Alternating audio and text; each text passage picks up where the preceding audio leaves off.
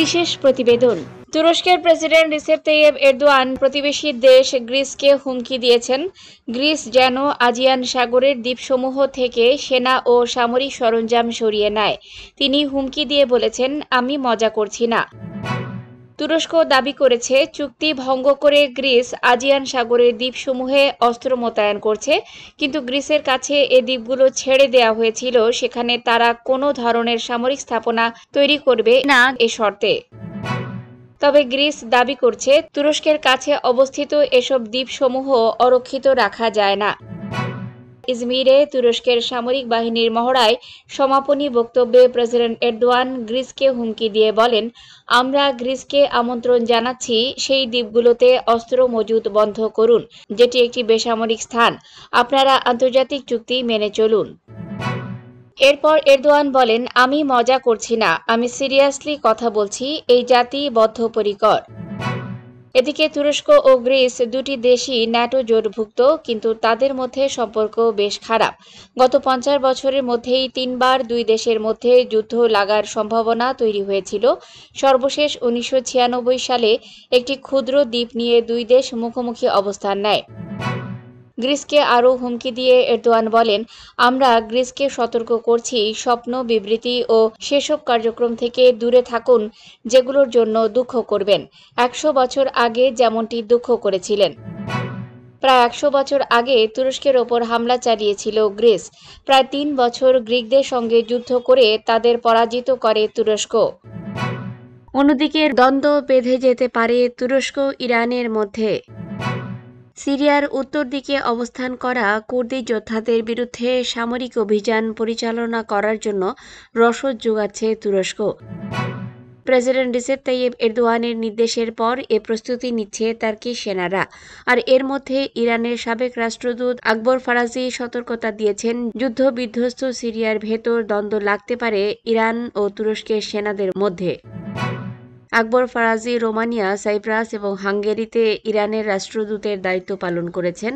Iran, সিরিয়ার বর্তমান স্বৈরশাসক বাশার আল আসাদকে সমর্থন দিচ্ছে।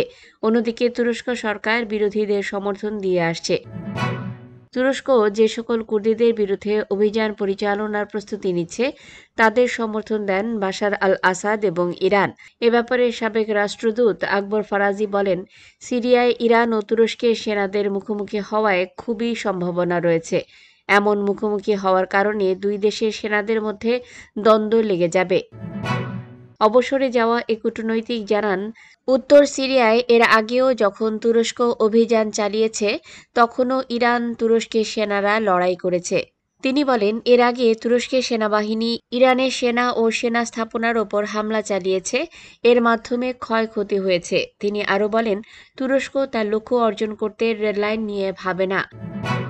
রাষ্ট্রদূত আকবর ফারাজি জানান, ইরান বিশেষ করে হোমস নিয়ে চিন্তিত, যেটি তুরস্ক দখল করতে পারে। এই রাষ্ট্রদূতের দাবি, গত কয়েক বছরে তুরস্ক প্রমাণ করেছে, তারা আক্রমণাত্মক হামলা চালায়, আর এ আক্রমণাত্মক নীতি এবং নতুন অটোমান সাম্রাজ্য নীতির ওপর ভিত্তি করে তুরস্ক, ইরান ও সিরিয়ায় হামলা চালিয়েছে এবং এ দুটি দেশের কিছু অঞ্চল দখল করে সেগুলো নিজেদের সঙ্গে যুক্ত করেছে। অন্যদিকে যোগীর রাজ্যে তিন মুসলিমকে জয় শ্রীরাম বলানোর ভিডিও ভাইরাল। বিজেপি নেতা যোগী আদিত্যনাথের রাজ্যে কান ধরে উঠবস করানোর পর জয় শ্রীরাম বলতে বাধ্য করা হলো তিন মুসলিম ব্যক্তিকে। সম্প্রতি উত্তরপ্রদেশের খড়গপুর জেলায় একটি গ্রামে এ ঘটনাটি ঘটেছে। ইতোমধ্যে এ ঘটনার ভিডিও ভাইরাল হয়ে নেট দুনিয়ায় চলছে নিন্দার ঝড়। জানা যায়, তিন মুসলিম ব্যক্তির কাছে তাদের আধার কার্ড চাওয়া হয়েছিল। পরে তাদেরকে কান ধরে উঠবস করানো হয় এবং জয় শ্রীরাম বলতে বাধ্য করা হয়। সেই সাথে তাদের সতর্ক করা হয় যেন তারা আর কখনো পণ্ডিত গ্রামে প্রবেশ না করেন।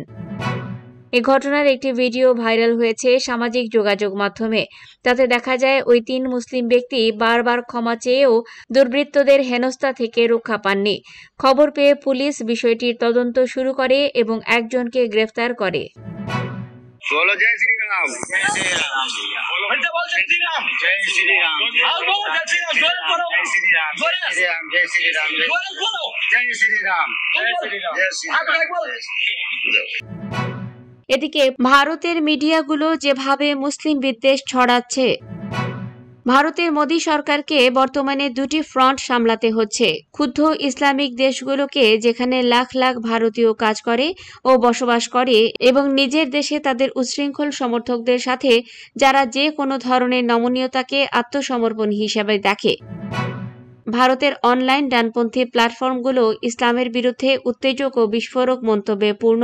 স্পষ্টতই বিজেপির সমর্থকরা বিশ্বাস করে যে শেষ কথাটি এখনও বলা হয়নি। এ পরিস্থিতির জন্য নিখুঁত, সক্ষম পরিবেশ ভারতের সরকারি টেলিভিশন নিউজ চ্যানেলগুলো এবং তাদের বিষাক্ত বর্বরতার সংস্কৃতি দ্বারা সরবরাহ করা হয়েছে।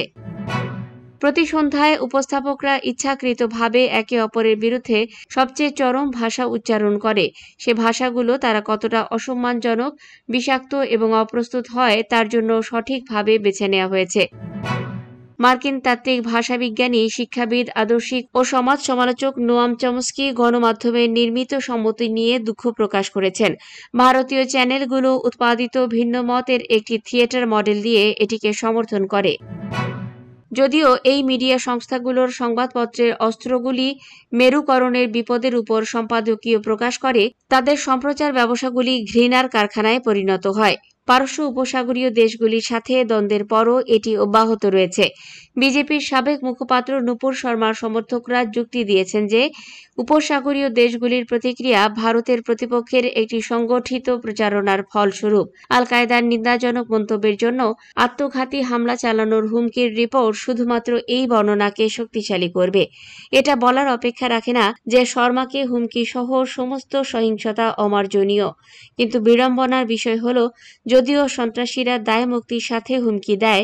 রাজনীতিবিদরা তর্ক করেন এবং আঙুল তোলেন। বড় শক্তিগুলো কৌশলগত ক্ষমতার জন্য লড়াই করে এবং পারফরম্যাটিক টেলিভিশন হোস্টরা এই পেশাকে হেয় করে।